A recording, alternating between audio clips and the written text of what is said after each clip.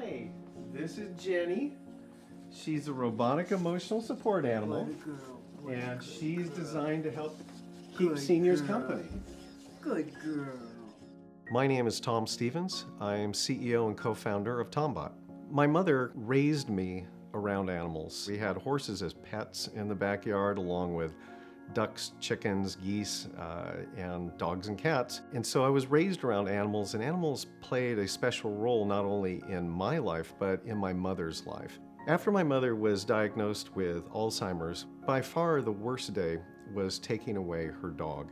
My mother was devastated, and it broke my heart to be the one to have to take her dog away from her. That launched me on a multi year research and education effort to solve my mother's problem specifically.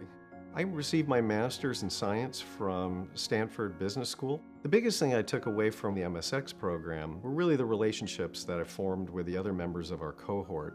I came to love and respect the people that had many years into their career and could provide me their insights. When a senior is diagnosed with Alzheimer's or another causal disease for dementia, they begin losing things in their lives. Where a senior can form a robust emotional attachment to an object, traditionally human baby dolls or stuffed animals, that senior gets a great deal of relief, and the tech world, my roots, fairly ignored this. So, what we set out to do is build a better emotional attachment object.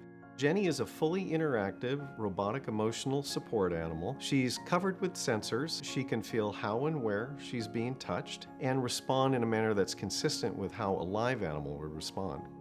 By caring for the robot, they again have a sense of purpose where the well being of the robot becomes a focal point in their lives.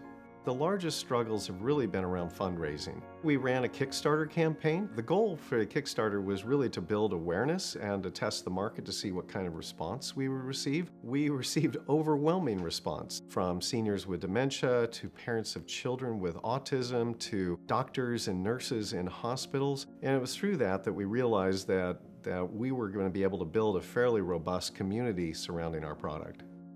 My mother passed away in October of 2018, and she was actually the inspiration behind the name. She just asked me, What are you going to name the company? I said, Well, I'm not sure. She said, Well, how about Tom? That led us to, to call it Tombot. So every day when the company's name is used, I think back to my mother and all of the wonderful work that she did with us to help us get our products to a place where they were useful and purposeful for other people.